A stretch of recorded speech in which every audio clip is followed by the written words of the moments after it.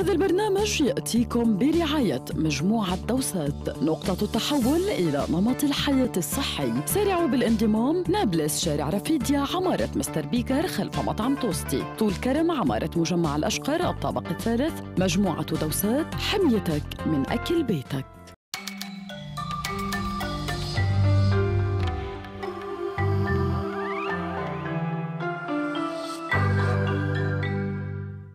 مرحبا.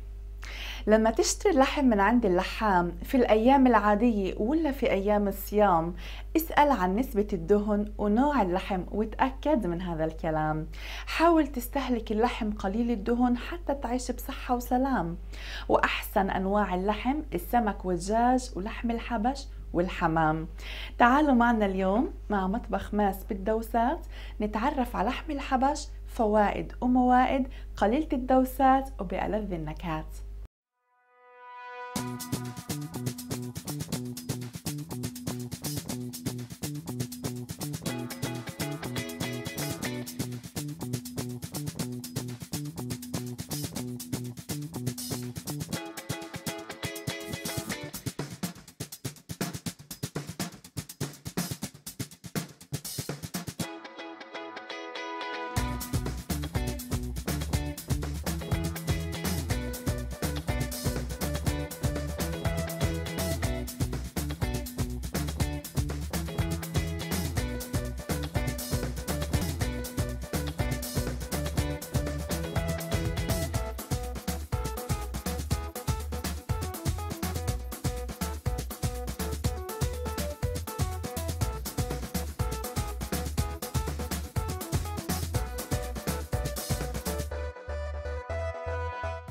أعزائي اللحوم تحتوي على بروتين كامل بمعنى أحماض أمينية بيحتاجها الجسم ومهمة جدا لبنائه.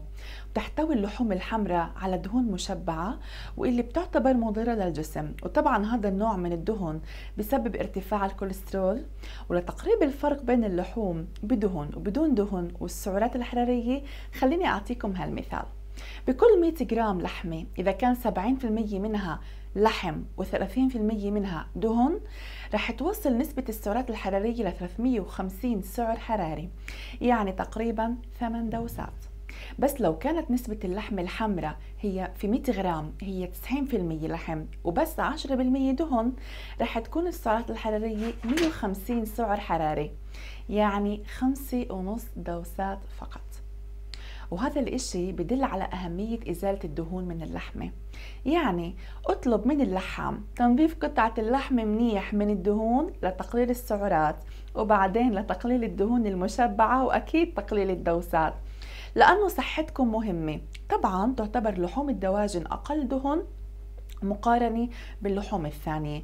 ولحم الحبش مفيد جدا لأنه أقل أنواع اللحوم دهن بيحتوي الحبش على نسبة مرتفعة من المغذيات منها البروتينات السيلينيوم عائلة فيتامين B الأحماض الأمينية وأكيد الزنك. بيحتوي الحبش على نسبة عالية من البروتين مقابل كمية منخفضة جدا من الدهون وخاصة المشبعة وخاصة كمان الكوليسترول. وبالذات لما نتناوله بدون جلد. يعتبر غني بالحامض الأميني التريبتوفان وهو مهم جدا لجهاز المناعة في جسم الإنسان. ومهم كثير لتهدئة الإنسان ومقدرته على النوم بهدوء وخاصة بهاي الحياة.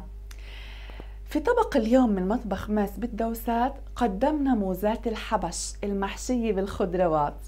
والقليل من زيت الزيتون. هذا الطبق مغذي قليل الدهون ممكن تحضيره للضيوف برمضان وتقديمه بثقة لأنه طبق صحي بامتياز.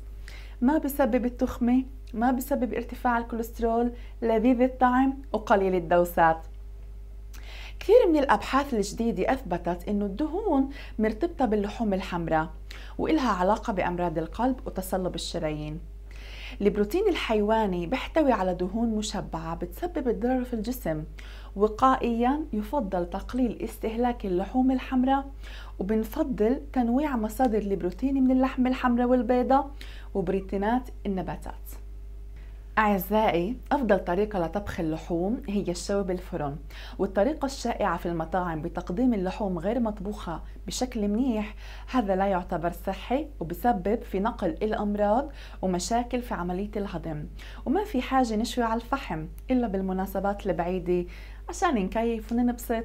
بس وبس عشان العادات بس الفحم له كثير أضرار وممكن يسبب لسرطانات ولهذا السبب خلينا نشوي بالفرن أضمن بكثير وهيك بندير بالنا على الفيتامينات كمان.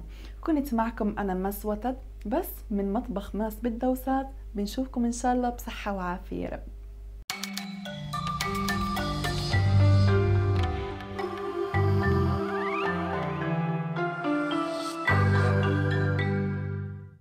هذا البرنامج يأتيكم برعاية مجموعة دوسات نقطة التحول إلى نمط الحياة الصحي. سارعوا بالانضمام. نابلس شارع رفيديا عمارة مستر بيكر خلف مطعم توستي. طول كرم عمارة مجمع الأشقر الطابق الثالث. مجموعة دوسات حميتك من أكل بيتك.